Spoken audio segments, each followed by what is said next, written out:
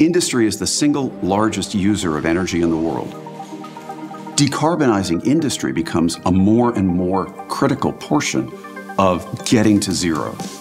Industry is a place where it's really hard to have a green premium because whether you make cement or baby food, that's a low margin commodity, and energy is a huge portion of the cost of producing those commodities. If we're going to decarbonize industry, we need a replacement for fuel that is not more expensive. We have intermittent wind and solar energy that are now cheaper than burning fuel. It's a hard problem because three quarters of the energy used by industry is in the form of heat, not electricity. Rondo is building a new class of solution to solve that problem.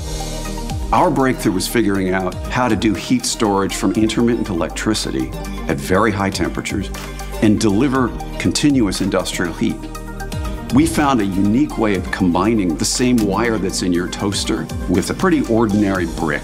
It's a higher temperature brick. They call it refractory. It's made from silicon, oxygen, and aluminum, 80% of Earth's crust. So there are no supply chain limits. We heat brick with toaster wire. It doesn't get cheaper than that. About 95% of all the industrial heat in the world is serviceable from the current Rondo technology. We are now running on a go fast basis of several hundred projects around the world. We are at a renaissance right now of investigating how to store electricity for industrial heat. It is an exciting moment.